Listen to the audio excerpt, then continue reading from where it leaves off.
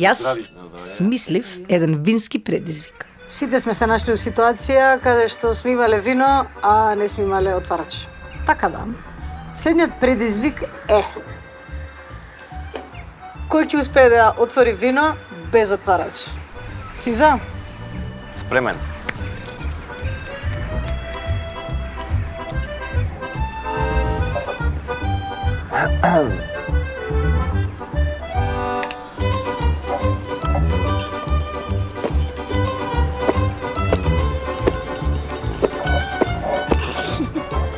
Маве, маве. Дечко, губиш ова, па 100 нула.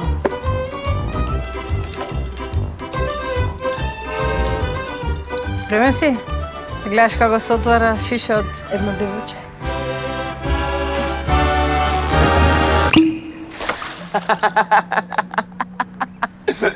Пази, не се истори шана со вино. И што го отвори? По која цена? Дава, изгледа бројот не е точен. Ајде ли сте за